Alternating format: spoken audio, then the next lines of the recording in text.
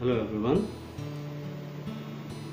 नज़र की कमज़ोरी में सबसे ज़्यादा जो कॉमन फैक्टर है, वो रिफ्रैक्टिव एरर है। रिफ्रैक्टिव एरर का मतलब होता है कि हमारी आई बॉल का जो स्ट्रक्चर है, वो तब्दील हो जाता है। या तो आई बॉल लंबी हो जाती है, या शॉर्ट हो जाती है, जिसकी वजह से रेटिना के ऊपर जो इमेज बनती है, वो धुंधली होती है या ख़राब होती है।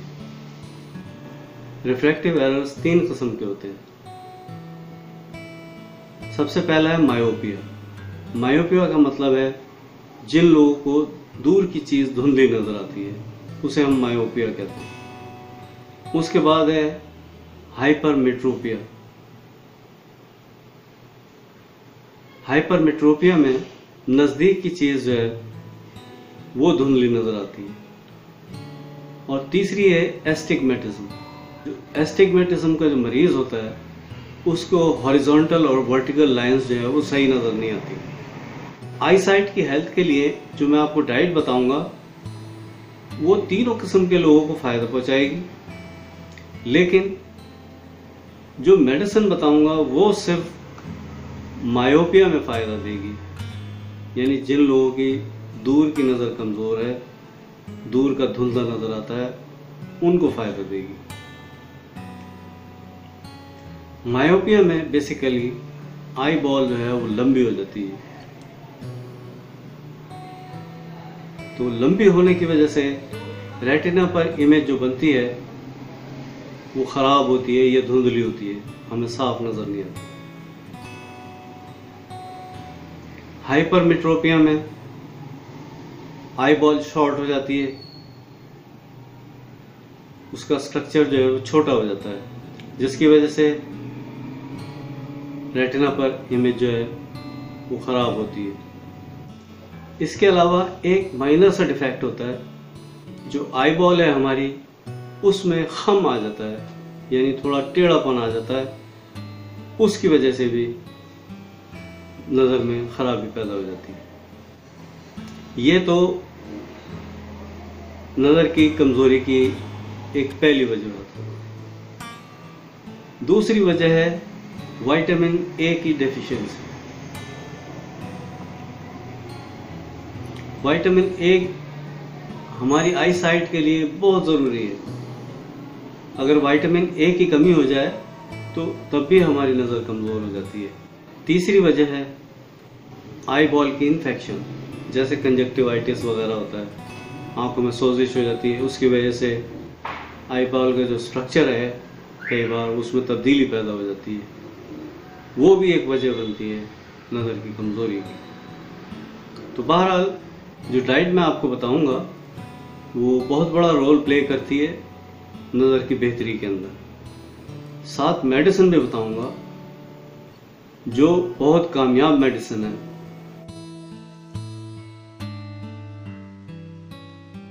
में सबसे पहले नंबर पर फ़िश आती है, मछली। मछली ओमेगा थ्री से भरपूर होती है। ओमेगा थ्री जो है, वो हमारी नज़र की बेहतरी के लिए बहुत ज़रूरी है। उसकी वजह यह है कि जो रेटिना का स्ट्रक्चर है पीछे, जहाँ पर इमेज बनती है, वो ओमेगा थ्री से बना हुआ होता है। इसलिए मछली नंबर एक पर आती है डाइट के अंदर। तो इसमें भी, मछली में भी कई इकसाम है। जैसे चूना है, चूना बहुत अच्छी मछली है। उसके बाद सैलमन है, ट्राउट है, मैकरल है। और दीगर मछलियाँ जो अवेलेबल आपको होती हों, वो आप इस्तेमाल करें। जितना ओमेगा थ्री आपको मिलेगा, उतना ही आपकी रेटिना जो है वो बेहतर होगी और उसकी वजह से आपकी आई साइट भी बेहतर होगी। नंबर दो पर हमारी डाइट में नट्स आते हैं। नट्स भी ओमेगा थ्री से भरपूर होते हैं और इनके अंदर बहुत हाई लेवल का विटामिन ई e भी होता है। विटामिन ई e हमारी जो एज रिलेटेड नज़र की कमज़ोरी है उसको दूर करता है। नट्स में सबसे पहले वॉलनट यानी अखरोट। अखरोट आप खाएँ। उसके बाद काजू। उसके बाद मूंगफली। और बादाम वगैरह। ये ओमेगा थ्री से भरपूर होते हैं। और नज़र की कमज़ोरी में हमें भरपूर फ़ायदा देते हैं। नट्स के अलावा जो बीज होते हैं जैसे फ्लैक्स सीड्स हैं। इनके अंदर भी ओमेगा थ्री भरपूर पाया जाता है। ये भी आपकी नज़र की कमज़ोरी में बहुत फ़ायदा देंगे। उसके बाद सिट्रस फ्रूट आता है। सिट्रस फ्रूट विटामिन सी से भरपूर होता है। और ये एक किस्म का एंटी ऑक्सीडेंट होता है, जो हमारी नज़र की कमज़ोरी को और ख़ास तौर पर जो एज रिलेटेड कमज़ोरी है उसको बहुत फ़ायदा पहुंचाता है। उसमें आप लेमन्स ले सकते हैं ऑरेंजेस ले सकते हैं ग्रेप फ्रूट ले ले सकते हैं। सब में विटामिन सी बहुत मकदार में पाया जाता है। उसके बाद हरी पत्ते वाली सब्ज़ियाँ हैं, जिसमें सबसे ऊपर पालक आता है, उसके बाद केल और कोलाड्स ये आप इस्तेमाल करें। हरी पत्ते वाली सब्जियों में एक तो विटामिन सी का बड़ा अच्छा सोर्स है ये। और इसमें ल्यूटीन भी होता है, और जी एक्सेंथाइन भी होता है, जो हमारी विजन को बहुत फ़ायदा पहुंचाता है। उसके बाद कैरेट्स हैं। कैरेट्स के अंदर विटामिन ए भरपूर मकदार में होता है, और इसमें बीटा कैरोटीन भी होता है। जैसे कि मैंने पहले आपको बताया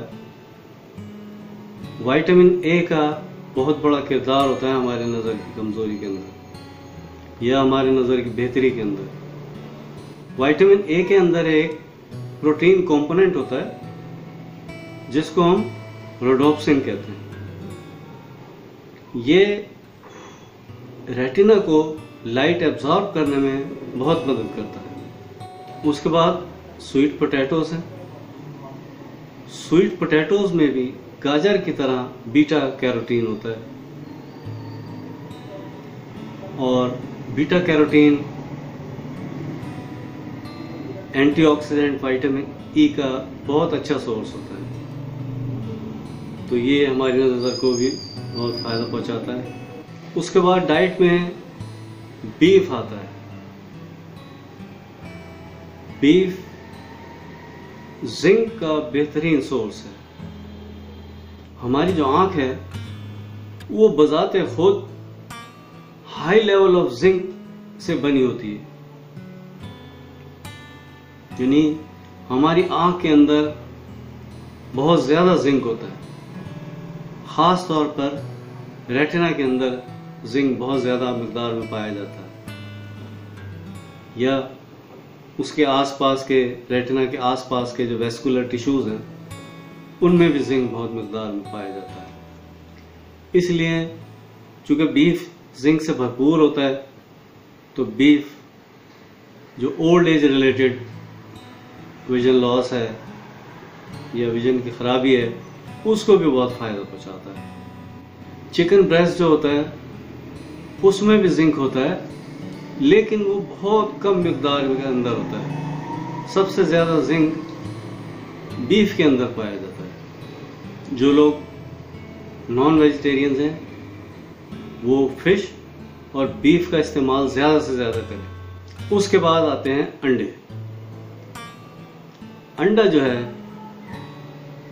वो बेहतरीन सोर्स है ल्यूटीन और जी एक्सैंथिन का ल्यूटीन और जी एक्सेंथिन जो एज रिलेटेड आई लॉस है, उसको प्रोटेक्ट करता है। और अंडे जो हैं, वो विटामिन सी, विटामिन ई और जिंक का बेहतरीन सोर्स है। इसलिए अंडे भी हमारी नज़र को फ़ायदा पहुंचाते हैं। सबसे आखिर में पानी आता है। लोगों को ये सुन के बड़ी हैरत होगी कि पानी भी आँखों को फ़ायदा पहुंचाता है।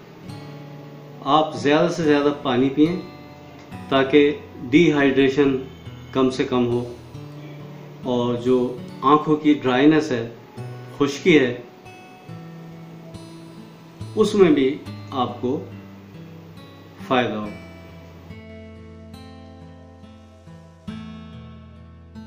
डाइट के बाद मैं आपको एक्सरसाइज बताता हूँ। जिस एक्सरसाइज के करने से आपकी जो विजन है जो आई साइट है, उसमें इम्प्रूवमेंट आएगी। तो हम बॉडी की एक्सरसाइज करते हैं और अपनी हेल्थ को बेहतर रखते हैं। इसी तरह आँखों की भी एक्सरसाइज होती है। सबसे पहली जो एक्सरसाइज है, वो एक्सरसाइज है आप अपने ऐसे हथेलियों को ऐसे रगड़ें इसके अंदर हीट पैदा करें। जब ये हीट अप हो जाए तो उसके उसके बाद अपनी आँखों के ऊपर आप ऐसे रखें पाँच सेकंड के लिए। और ये एक्सरसाइज आपने तीन बार रिपीट करनी है। उसके बाद एक्सरसाइज आती है कि आप अपनी आँखों को रोल करें सबसे पहले आप ऊपर देखें, इस तरह। उसके बाद क्लॉकवाइज इस तरह आँखों को रोल करें। दस बार। इस तरह। और उसके बाद फिर ऊपर देखें और एंटी क्लॉकवाइज आँखों को इस तरह रोल करें। ये भी आपने 10 बार करना उसके बाद इस तरह पेन अपने हाथ में पकड़ें और आम जितनी हाथ की आपकी लंबाई है, इस हाथ की लंबाई तक आप इसको रखें।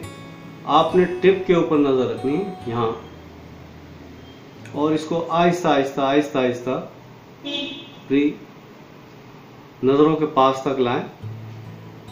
जब ये तकरीबन छह इंच रह जाए, फिर इसको यहाँ रोक लें। नज़र आपकी टिप पर रहनी चाहिए। फिर आप इसको वापस ले जाएँ। इस तरह, आहिस्ता आहिस्ता। जब ये छह इंच रह जाए, उससे पहले आपने इसको रोकना है। यानी आपको एक सिंगल टिप नज़र आनी चाहिए। उसके बाद एक एक्सरसाइज है। आपने अपने अंगूठों से टेम्पल्स को ऐसे मसाज करना है। इस तरह। इस तरह आपने 20 बार मसाज करना है। दोनों अंगूठे से। उसके बाद है मिनी नैप हम जिसको कहते हैं। आप अपना सर पीछे करें इस तरह। और तीन मिनट के लिए आँखें बंद कर लें।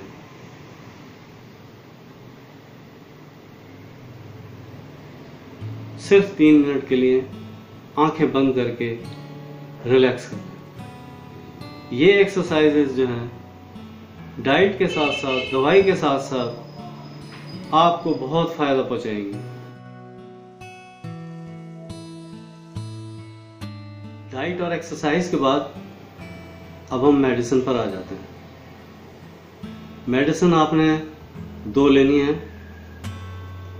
पहली मेडिसिन है फाइस स्टिग्मा।